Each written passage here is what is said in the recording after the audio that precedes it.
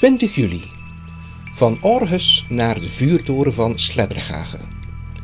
Man, man, man, wat staan we hier weer op een mooi plekje. Het moet gezegd, als we tweejaarlijks kiezen voor het noorden, staan we op mooiere plaatsen dan in het zuiden. De helft van het mysterie van de Deense wimpels is opgelost. Het is bij wet verboden om de Deense vlag s'nachts te laten wapperen. Voor wimpels zijn er geen problemen. Vandaar het gebruik van dit lapidextil in plaats van de vlag. Die ook, de vlag dan, volledig volgens de Deense afspraken moet gemaakt zijn qua kleur en afmetingen. Hoewel we in het bijna centrum van Aarhus geparkeerd stonden, was het uitzonderlijk rustig en stil vannacht. Gisteravond verdrok de ene auto na de andere na hun bezoek aan Tivoli Park, een pretpark van Grote Broer in Kopenhagen. Vanaf 10 uur was het rustig. Deze morgen leegde een vuilkar de afvalbakken, maar toen was het reeds half zeven.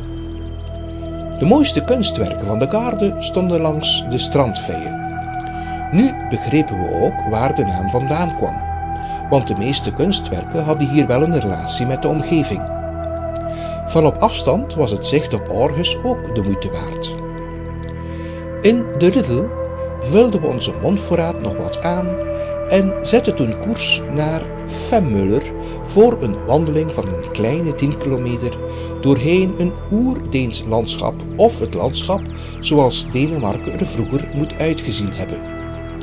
De wandeling pikten we opnieuw uit onze ANWB-gids, maar gelukkig kon ik een gedetailleerde wandelkaart op mijn smartphone erbij gebruiken, want anders waren we verloren gelopen en ik wilde zeker de klim op de Isoar zien, de laatste kans op vuurwerk in deze tour. Bij de terugkomst gaf ik snel de coördinaten in van de vuurtoren van Sleddergagen via de app van Kampercontact en wijlen weg. 20 kilometer later kon ik net op tijd de schotel opzetten en genieten van de zeldzame spannende momenten in deze ronde van Frankrijk. Sabrina lutst vanavond een omelet met kruiden gepikt uit een kunstwerk dat we deze morgen op onze route vonden. Er viel ondertussen een klein buitje, maar gelukkig genoten we gedurende de dag weer van een noorderse zon zonder hoge temperaturen. Voor en tijdens ons avondmaal stroomden auto's toe op de parking. Sommigen haalden stoeltjes boven en zettelden zich met een blikje bier en een verrekijker met zicht op zee. Toen een aantal mensen begon te wijzen, haalde ik ook onze verrekijker boven, omdat ik dacht dat er dolfijnen of een walvis kon gespot worden. Toen ik niets zag, sprak Sabrina een wijzende vrouw aan, die vlakbij ons nest stond.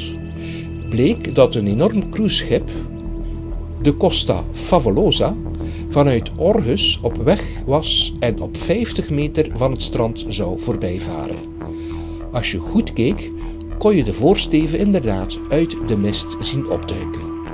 Het werd een leuk tussendoortje.